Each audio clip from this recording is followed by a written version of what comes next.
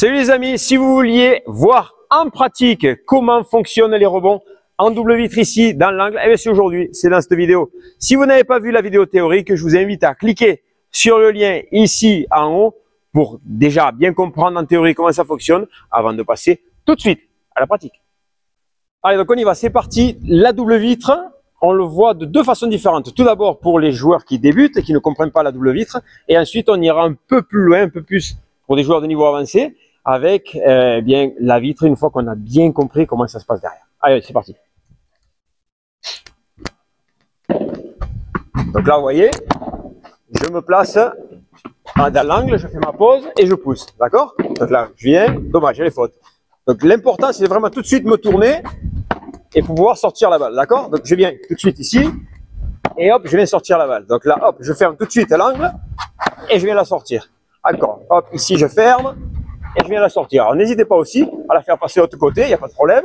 D'accord Vous avez vu, je fais sortir la balle une fois sur la droite, une fois sur la gauche. Ok, donc là, hop, sur la, là, encore. Donc là, on y va. Hop, je la fais passer donc sur ma gauche. Et je peux la sortir. Ici, là, hop, je peux venir et je pousse. Ok Donc là, là c'est difficile à vivre. Allez, encore une. Ici, hop, je peux fermer. Et là, je sors la balle. Ok? Ça va pour tout ça? Donc ça, c'est en fait cette défense de double vitre avec ce système où, eh bien, je ne me pose pas de questions.